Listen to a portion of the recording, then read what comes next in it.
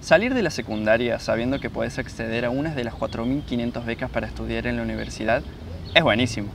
Te incentiva a seguir creciendo, para que la provincia crezca también. Hay que seguir defendiendo Córdoba. Por eso yo voto a Gringos Chiaretti y a Martín Yarzora.